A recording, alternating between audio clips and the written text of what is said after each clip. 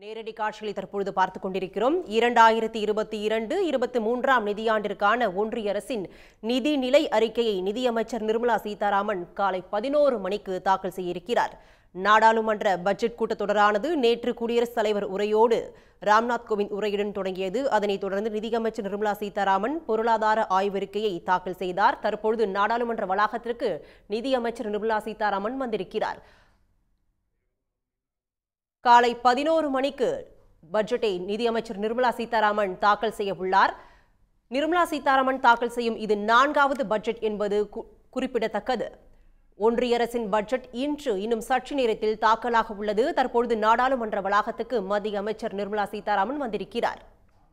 இது பற்றி விரிவான தகவலை தர காத்திருக்கிறார் செய்தியாளர் ராமகிருஷ்ணன். ராமகிருஷ்ணன் காலை பதினோரு மணிக்கு ஒன்றிய நிதியமைச்சர் நிர்மலா சீதாராமன் பட்ஜெட்டை தாக்கல் செய்ய உள்ளார். தேர்தல் நடக்கும் ஐந்து மாநிலங்களுக்கு முக்கியத்துவம் வாய்ப்பு இருக்குன்னு சொல்லியிருக்காங்க. வரிச்சலுகை உள்ளிட்டவற்றை எதிர்பார்க்கும் நடுத்தர வர்க்கம் நிறைய எக்ஸ்பெக்டேஷன் இருக்கு. என்னென்ன வரிச்சலுகைகள் என்னென்ன குறிப்பிடப்பட இருக்கிறது இந்த பட்ஜெட்டில்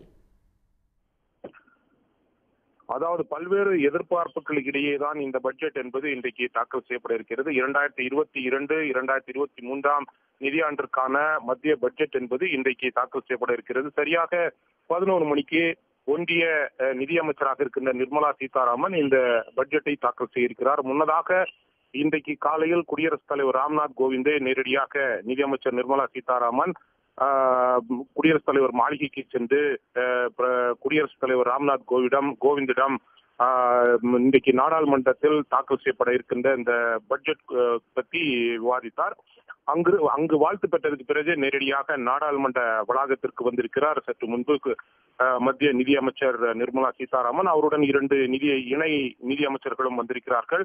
தற்போது நாடாளுமன்ற வளாகத்தில் மத்திய அமைச்சரவை கூட்டம் என்பது நடைபெற்றுக் கொண்டிருக்கிறது. பிரதமர் நரேந்திர மோடி நிதியமைச்சர் நிர்மலா சீதாராமன் உள்ளிட்ட மத்திய அமைச்சர்கள் இந்த கூட்டத்தில் கலந்து கொண்டிருக்கிறார்கள். நாடாளுமன்ற வளாகத்தில் உள்ள பிரதமனுடைய அலுவலகத்தில் வைத்து இந்த கூட்டம் என்பது நடைபெற்றுக் கொண்டிருக்கிறது.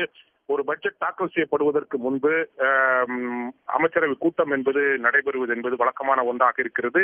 நிதியமைச்சராக இருக்கின்றவர் பட்ஜெட்டை தாக்கல் செய்வதற்கு முன்பு குடியரசுத் தலைவரை நேரடியாக சென்று சந்தித்து அங்கு வாழ்த்து பெற்று அதன் பிறகு மத்திய அமைச்சரவை கூட்டம் நடைபெற்று மத்திய அமைச்சரவை கூட்ட என்பது பட்ஜெட்டிற்கு வந்து ஒப்புதல் வழங்கும். அதன் பிறகுதான் இந்த பட்ஜெட் என்பது நாடாளுமன்றத்தில் நிதியமைச்சரால் தாக்கல் செய்யப்படும். இன்றைக்கு தற்போது மத்திய அமைச்சரவை கூட்டம் என்பது நடைபெற்றுக் கொண்டிருக்கிறது. இந்த கூட்டம் இன்னும் சுமார் பத்திலிருந்து பதினைந்து மணி நிமிடங்கள் நடைபெறுவதற்கு வாய்ப்புகள் இருக்கிறது. அதன் பிறகு மத்திய அமைச்சரவை வந்து ஒப்புதல் வழங்கியதுக்கு பிறகு சரியாக பதினோரு மணிக்கு நிதியமைச்சர் நிர்மலா சீதாராமன் பட்ஜெட்டை தாக்கல் செய்திருக்கிறார். உடனுக்குடன் செய்திகளை தெரிந்து கொள்ள சன் நியூஸ் பெல்லைக்கான கிளிக் பண்ணுங்க.